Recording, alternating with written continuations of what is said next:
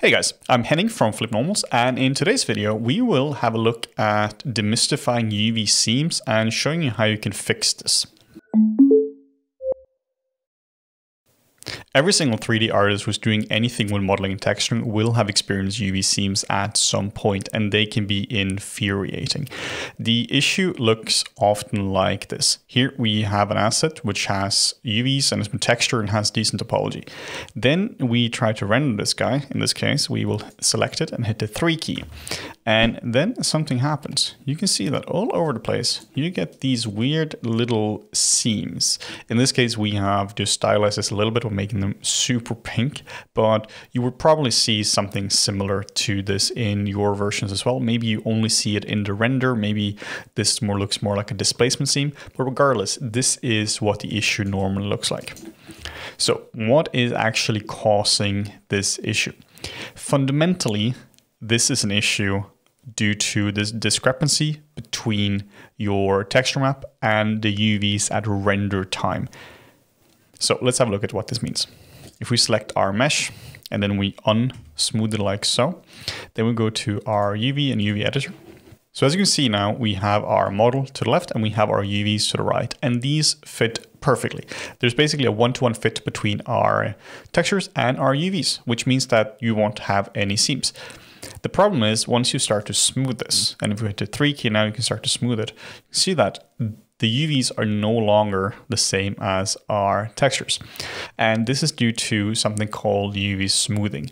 UV smoothing can be quite confusing if you don't really know what it is, but once you understand the general principle behind UV smoothing becomes quite simple and we'll of course cover that in this video. So this is not a Maya issue or Max issue or Blender issue or anything like that. This is more fundamental. While we are using Maya in this video and we'll be using a bit of Mari later on, you can do this exact same thing if you were to paint in Photoshop and model in Blender or if you're using Painter with Cinema 4D. It really doesn't matter. The fundamental issue is between your texture map and your UVs so we can control this quite easily if we go under, in this case, under the shape node. And then if we go to smooth mesh and under our open subdiv control, we have an item here called UV boundary smoothing. So if we were to set this to none, that means that when we are actually smoothing a model, like if we select it now, we hit the one key, nothing is smooth, and we hit the three key, the model is being smooth, but the UVs are not being smooth. And this means that if we were to set our model, in this case, to not smooth the UVs, we would have solved the issue. You can see it right now. No UV issues whatsoever. It's fine. The problem with this, however, is that currently our UVs then will not be matching the final model. In this case, our polygons are being smooth and normal is generally being soft enough, while the UVs would then be rigid and square. Now, this might be fine in a lot of cases, but in a lot of cases, this would not be fine. Imagine if you had text going around here and it's currently rigid and then you smooth it, you would have issues where you, wouldn't really know what your text would look like. You can have issues with logos deforming. For characters, this is often okay because you need less specificity. But if you really do need a high level of specificity, this is not a good way of doing it.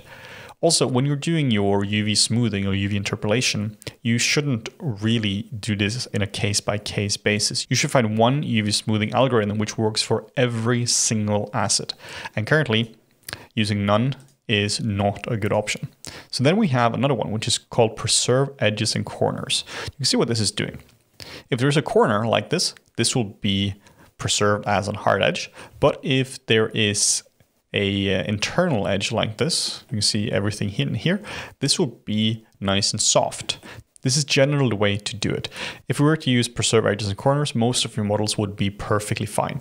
Then we have Maya Catmull Clark. Now this one is the more of the default way of doing it, and this is how a lot of different software would do it. Like it's called Maya Catmull Clark, but it's really just a Catmull Clark algorithm. What this is doing is it keeps the border edge is completely rigid and it softens the insides. Now you can see there are some issues with this between going between this and that. You can see that this is a much more truer representation of what our model looks like. You see the polygons are square and the topology is nice and soft. Well, if we go to Maya Catmull Clark, you can see that it becomes really pinched and nasty. Another issue with this as well is if we were to look at something more hard surface, if we just hide these guys and look at our a nice little cylinder, There are tons of examples where we have models like this, and these will be completely broken with this approach.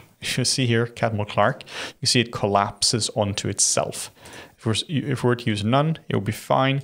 Or if we were to use preserve edges and corners, it would also be fine.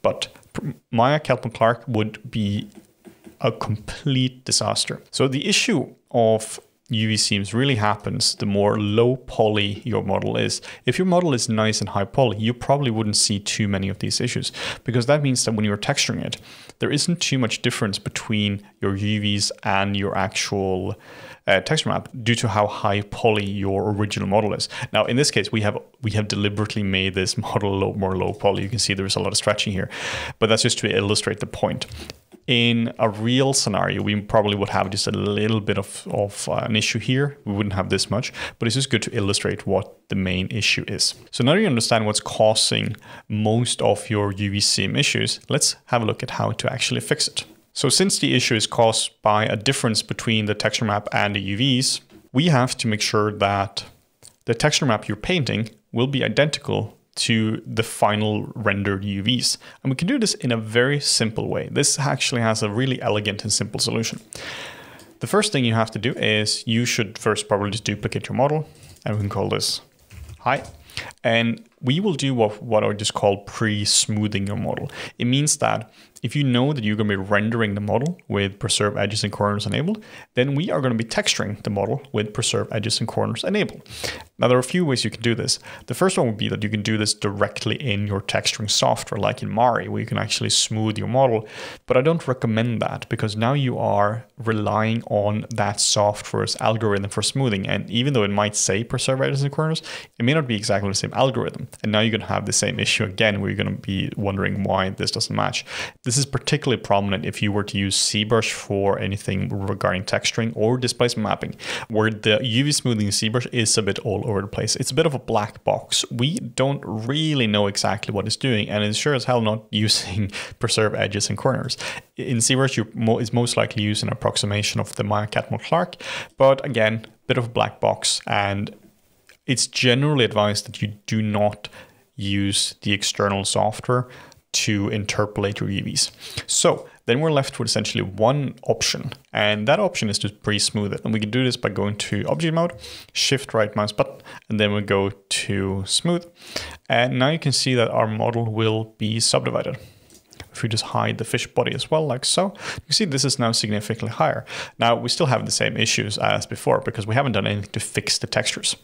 Now, there are two places we can actually change the UV smoothing. The first one is under the shape node, which is the second node from the left.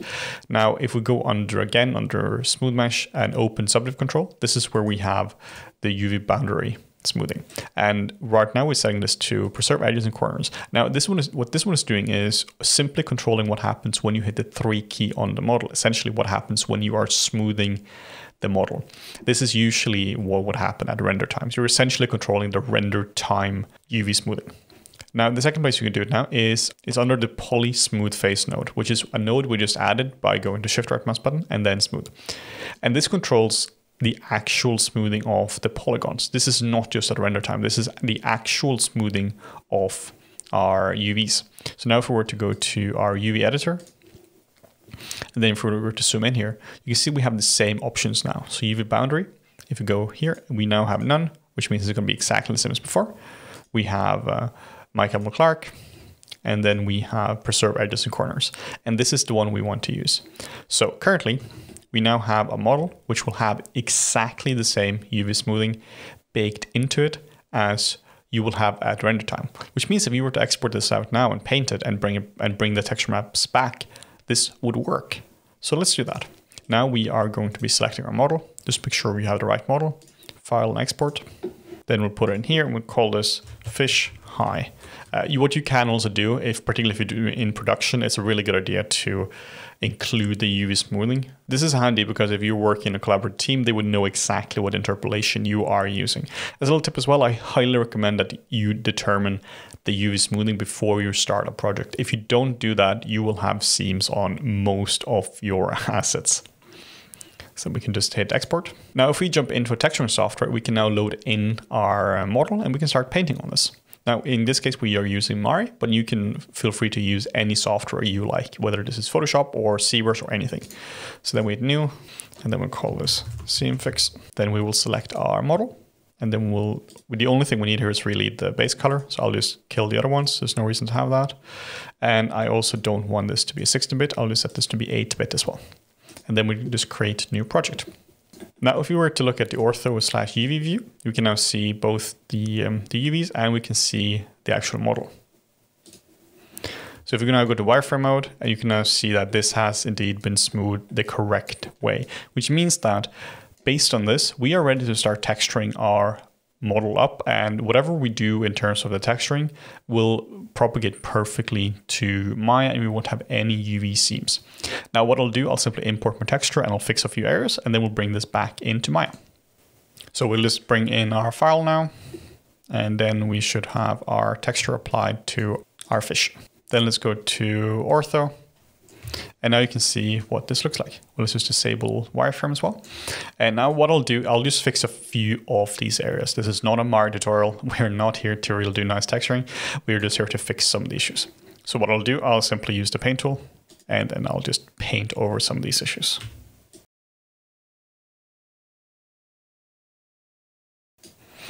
Beautiful work.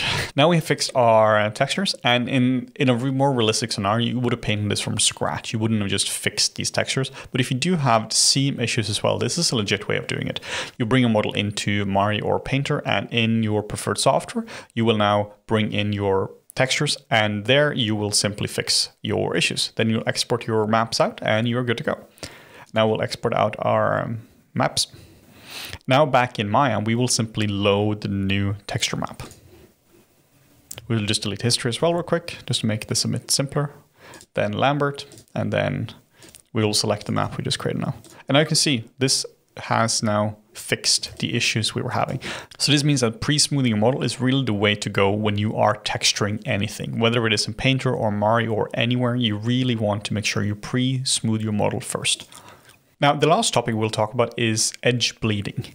This is where the texturing software will extend the edges of the UV map just outwards into nothingness, really, just so that if there is a case of uh, UV seam issues like this, this can hopefully be remedied by the edge bleeding. If we were to look at the original fish now, and you see that, like before, this fits perfectly with the edge, at least if we were in non-smooth mode, fits perfectly with the edge. And there really isn't too much to go by here. So if we were to move this just like a few pixels, we would really have issues with the seams. So, which means that of course, when we smooth the object like so, we will have issues. But if we were to use edge bleeding with this, this would solve the issue in a large way. So in Photoshop now, we have our original texture with the beautiful pink background. And then we have the texture with actually how it was exported from ZBrush. And this is what it looks like. Here you can see that we have an extended edge going all the way around the texture. Now, this isn't correct based on the texture map per se, because it's just kind of making up what's going on there, but it is really helping us avoid the UV seams. So if we now were to load in the texture map, which had the bleeding on it, you can now see that this extends just a few pixels around it. I believe in this case 16 pixels. And this now fixes the issues. So in our case here now, looking at it, this is actually fine. You can see that when we smooth it now, there aren't really any issues. So I highly recommend that whenever you are texturing anything, whether it be in Painter, ZBrush, or Mari, that you enable full on edge bleed. Just set it to infinity if possible, or set it to the maximum amount, because this allows you to really remedy a lot of these issues. It also means, for instance, if you are doing anything with the texture later on, like let's say you are blurring the textures and using this as a utility for something else, this means that you can now blur it more and you have more to play with. As a word of warning though, regarding actually bleeding the edges, this works best when it comes to color maps. In this case, we have a fairly stylized texture map and bleeding across here probably wouldn't cause any issues. But if you have something more like a utility map, like a displacement map, where you really need all the data in the map, bleeding is not going to fix that entirely. It might help you a little bit, but it fundamentally is not going to fix it. So to sum up why you have UV seams, most likely it is caused by a difference between your texture map and your UVs, where they just aren't matching up. The way to fix that is before you start the texture is you first determine what UV interpolation are you going to be using on your project. If you're simply doing personal pieces, that's easier. If you're working in a bigger studio, that's a bit harder. You just have to determine that as a team. And you can do that simply going to the shape node and then you can go to smooth mesh, open subdiv control and UV boundary smoothing and change this to preserve edges and corners. There's no reason not to use this. This is really like in a fairly objective sense, the best UV interpolation. So make sure you set that for all your models at the render time. Then when you are ready to start texturing, you shift right mouse button on your object, then you go to smooth, and then you can change the smoothing algorithm to be using preserve edges and corners as well. Now you bring your high poly model, which has been pre-smooth, into your texturing software in order to texture the software there. And as the last thing, use edge bleeding for all your texture maps, even if you think it's fine the way it is. Just enable it. It's free to use. Just stay as clean as you possibly can and avoid as many of those seam issues as you possibly can. So I really hope this video here has been useful. If you have any requests for more of these kind of videos, whether they be seam issue fixes or anything to do with texturing modeling, please let us know in the comments. We love to read the comments and we take a lot of our video ideas directly from the comments here. So thank you so much for watching and uh, we'll see you next time.